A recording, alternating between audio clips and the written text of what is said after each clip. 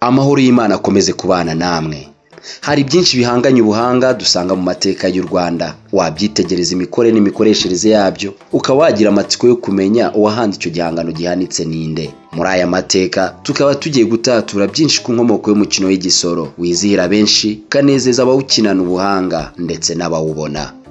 Iyi ni mivida makumyabiri na kane kuri youtube channel. Kuri interineti tubona kuri wa eshatu akadomo mivida makumyabiri na kane akadomo com. Ngenda adolphe janeman mbahaye ikaze.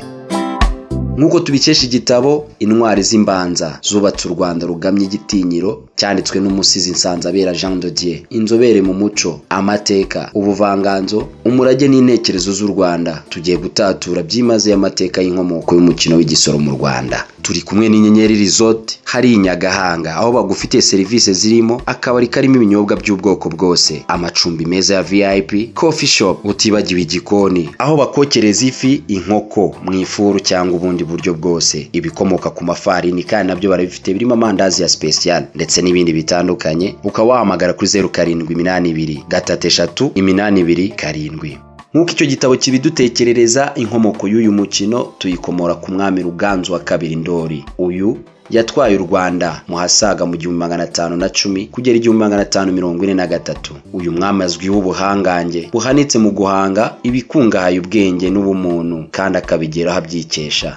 Ruganzu ndori yagize ubugenge n'ubuhanga ku ngoma ye. Niwe dukesha umukino w'igisoro mu mateka y'u rwanda ukunzwe na benshi mu gihugu cyacu cy'u rwanda. Kubera ko yagiraga ibitekerezo binyaruka byatumaga ahora atekereza ibihangano byafasha abanyarwanda cyane cyane ingabo z'igihugu guhora ziyungura ibitekerezo binyarutse no kubaremamo umutima w'intsinzi z'ibihe byose. Umukino w'igisoro yawuhanze ubwo yari akataje ku rugamba rwo guhangana n'amahanga mu mushinga wo kwagura u rwanda. Igisoro yakiremye nk'isomo ry'imbata y'urugamba ifasha buri wese mu ngabo ze gutegura imigendekere y'urugamba aho yaba ari hose. Bawifashishaga kandi mu itorero ry'u rwanda mu gutoza urubyiruko ubugenge bw'urugamba. Babaga bitegura mu kurasanira igihugu. Umukino w'igisoro uteye ku buryo ugikina atazarira mu bitekerezo ahubwo arasa byihuse ku cyo ashaka kugeraho. Uteye kandi ku buryo ugikina ibyo akora byose biba birimo gutsinda no gutahana iminyago y'uwo yatsinze. Nk'ikimenyetso kigaragariza buri wese ko yatahanye intsinzi koko. Uburyo igisoro giteguwe ubwacyo kigaragaza imiterere y'ingabo zihanganye ziteguye kwanzika urugamba. Niyo mpamvu insoro bakoresha bakina uyu mukino bazita inka.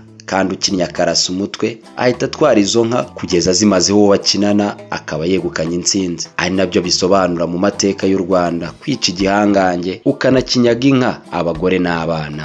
Ushaka serivisi z'ubukwe ndetse n'ibirori bitandukanye wagana mu nyubako hari ingarama yegeranye na beka aho bagufitiye serivisi z'amatenti dekorasiyo kwambika abageni ndetse n'abasore ndetse n'imiryango. Bagufitiye gato de mariage bagufitiye kuba bagukamerera ubukwe amafoto meza ndetse na videwo barugucurangira kandi bakaba banaguhuza n'umuntu yivugira inka. We wahamagara kuri zeru karindwi iminani ibiri mirongo ine na gatatu makumyabiri na kane zeru kabiri cyangwa se kuri zeru karindwi umunani gatatu zeru kabiri mirongo itatu n'umunani mirongo icyenda n'umunani. money. Muri make umukino w'igisoro uteye mu buryo bw'imyitwarire y'intwari ku rugamba. Gihamya cy'uko umukino w'igisoro wagenewe gukabura ubutwari bw'ingabo z'u rwanda nta muga akoreshwa muri uyu mukino. Agaragaza neza ubugenge bw'ingabo zambariye urugamba rutsinda. Mbere y'uko tureba aya muga ndetse n'imvugo yayo tubibutse ko ukeneye amabiju arimo amasheneta amahereni ibikomo ndetse n'impeta amaparufe n'amadeodora menshi. Ibintu byose by'ubwiza wagana ziyada cosmetics shop ari ingarama. Impande ya premier bet bakagufasha ku basore kandi bagufitiye amabogisa n'amasogisi bya original.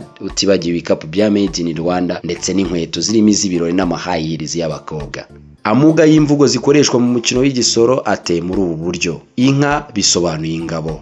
Umutwe ni igitekerezo gishya gikaza imiryango. Kugereka ni ugushyira ingabo ku murongo njyarugamba naho kurasa ni ugutangira intambara. Guteba ni ugusumbirizwa n'umwanzi ukarasa umugereka. Guca umuvuno ni ugusubira inyuma ugategura ubundi bucakura bw'urugamba. Naho kuvunura ni ukugarukana ingamba nshya ku rugamba. Kugarama byo bisobanuye gusa n'uwirengagiza kuri ku rugamba ukagenza gake. Uyobya ibirari ngo mwanzi yibeshye kutakimurwanya. Kwimana ni ukurwana ku ngabo isumbirijwe ukayikura mu nzara z'umwanzi. Naho kurangiza ni ugusoza urugamba utsembye ingabo z'umwanzi. Mbibutsa gukora subscribe share like ndetse na comment. Iyi ni mivida makumyabiri na kane nk'uko twatangiye tubibabwira. Naho ubutaha.